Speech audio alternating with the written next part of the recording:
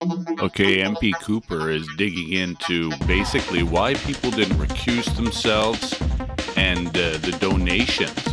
There's a lot to this. There'll be more uh, definitely coming out, and and I would stay close to your newspapers because there's a lot of information that needs to be digested by you know, journalists and everything. So here, check this out. A little more natural.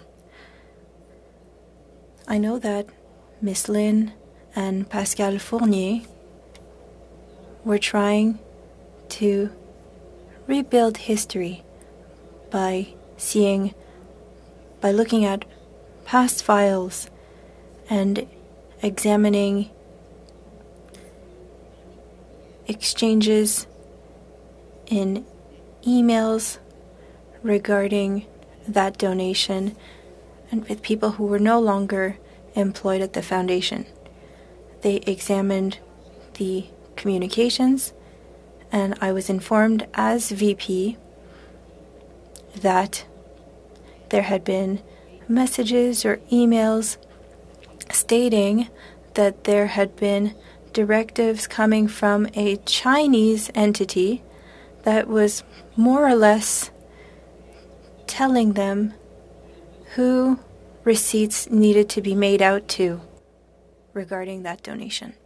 I have about 30 seconds left. Um, would you say that the uh, testimony of uh, Ms. Lynn would be valuable if this committee were able to, to take it?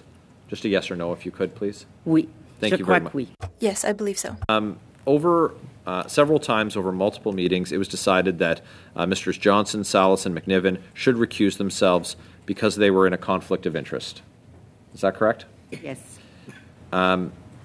And did they recuse themselves? No. And uh, why Mr. wouldn't they recuse themselves? Mr. Mr. Barrett? Il faudrait leur demander. You'd have to ask them. Thank you. Okay, thank you, Mr. Barrett. Remember, you, you heard it here first.